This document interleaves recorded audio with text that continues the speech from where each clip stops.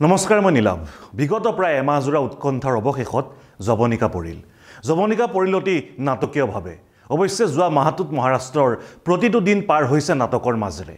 মুহূৰ্তে মুহূৰ্তে সলনি হৈছে ৰাজনৈতিক দৃশ্যপট। যোৱা চৌব্বিছ অক্টোবৰত যেতিয়া মহাৰাষ্ট্ৰৰ বিধানসভা নিৰ্বাচনৰ ফলাফল ঘোষণা কৰা হ'ল কোনেও ভবা নাছিল যে তাত চৰকাৰ গঠনত কিবা অসুবিধাৰ সৃষ্টি হ'ব। কিয়নো মহাৰাষ্ট্ৰৰ জনাদেশ অতি স্পষ্টভাৱে এন ডি এৰ পক্ষত আছিল। ফলাফল অনুসৰি বিজেপিয়ে এশ পাঁচখন আৰু শিৱসেনাই ছাপন্নখন আসন লাভ কৰে। কিন্তু এইবাৰ বিজেপিয়ে অকলে একক সংখ্যাগৰিষ্ঠতা লাভ নকৰিলে। লগে লগে শিৱসেনাই আৰম্ভ কৰিলে দৰদাম। শিৱসেনাৰ তৰফৰ পৰা স্পষ্ট কৰি দিয়া হ'ল যে তেওঁলোকে বিজেপিৰ লগত তেতিয়াহে চৰকাৰ গঠন কৰিব যেতিয়া আঢ়ৈ বছৰৰ বাবে শিৱসেনাক মুখ্যমন্ত্ৰীৰ পদ দিয়া হ'ব। বিজেপিয়ে এই চৰ্ত মানি নল'লে। সময় আগবাঢ়িল। বিজেপি চৰকাৰ গঠনৰ দাবীৰ পৰা আঁতৰি আহিল। শিৱসেনা কাষ চাপি গ'ল এন চি পিৰ। কেইবালানি বৈঠকৰ পাছত কালি নিশা শৰদ পাৱাৰে ঘোষণা কৰিলে যে শিৱসেনা এন চি পি আৰু কংগ্ৰেছৰ চৰকাৰ হ'ব। সৰ্বসন্মতিক্ৰমে উদ্ধৱ থাকৰে পাঁচ বছৰৰ বাবে হ'ব মুখ্যমন্ত্ৰী। বৈঠক সমাপ্ত কৰি সকলো ঘৰা ঘৰি হ'ল।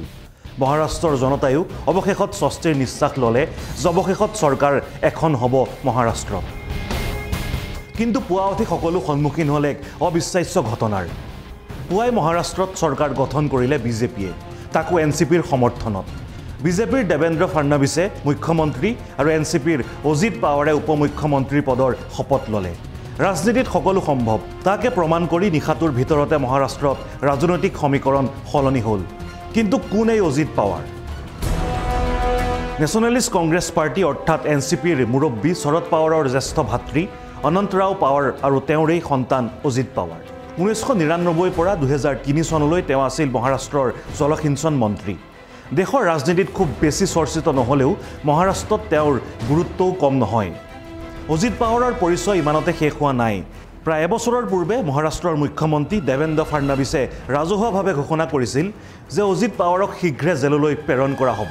কিয়নো বাসত্তৰ হাজাৰ কোটি টকাৰ জলসিঞ্চন কেলেংকাৰীত অজিত পাৱাৰ জড়িত থকাটো এণ্টি কৰাপশ্যন ব্যুৰোৰ অনুসন্ধানত প্ৰমাণ হৈছে। কেৱল সেয়াই নহয় প্ৰধানমন্ত্ৰী নৰেন্দ্ৰ মোদীৰ মতে এন চি পি মানেই নেচাৰেলি কৰাপ্ট পাৰ্টি। এতিয়া কাৰাগাৰলৈ যাবলগীয়া নেতাক উপ মুখ্যমন্ত্ৰী পাতি নেচাৰেলি কৰাপ্ট পাৰ্টীৰ সমৰ্থনত মহাৰাষ্ট্ৰত বিজেপিয়ে চৰকাৰ গঠন কৰিলে। আকৌ এবাৰ প্ৰমাণ হ'ল যে ৰাজনীতিত কোনো স্থায়ী শত্ৰু নাথাকে মিত্ৰ নাথাকে। এতিয়া প্ৰশ্ন হ'ল মহাৰাষ্ট্ৰৰ ৰাজনৈতিক ঘটনাৱলীৰ পৰা দেশবাসীয়ে শিকিলে কি? কি শিক্ষা দিলে মহাৰাষ্ট্ৰৰ ৰাজনীতিয়ে? প্ৰখ্যাত সাংবাদিক ৰাজদীপ চৰদেশাইৰ মতে মহাৰাষ্ট্ৰৰ ঘটনাৰ মূল শিক্ষা হ'ব বিজেপিয়ে আৰু কেতিয়াও দুৰ্নীতিক লৈ কথা ক'ব নোৱাৰিব। কংগ্ৰেছেও ধৰ্ম নিৰপেক্ষতাৰ কথা কোৱাটো উচিত নহ'ব। শিৱসেনাই হিন্দুত্বৰ আদৰ্শৰ কথা ক'ব নোৱাৰিব। আৰু N C P N C পিৰ বিষয়ে কি ক'ব? ৰাজনীতিত এতিয়া কেৱল এটাই আদৰ্শ বাকী আছে সেয়া হ'ল সুবিধাবাদ। আপোনালোকে চাই আছিলে দি ক্ৰছ কাৰেণ্ট। যদি ফেচবুকত চাই আছে আমাৰ page the cross current like কৰিবলৈ নাপাহৰিব।